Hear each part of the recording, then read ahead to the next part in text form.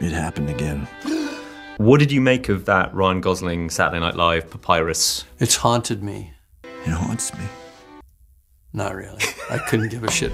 I forgot about it for years, but then I remembered that Avatar, a giant international blockbuster, used the papyrus font as its logo.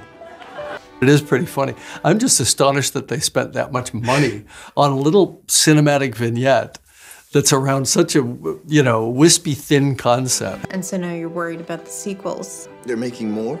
I said, all right, guys, we are now doubling down. We're using papyrus for everything.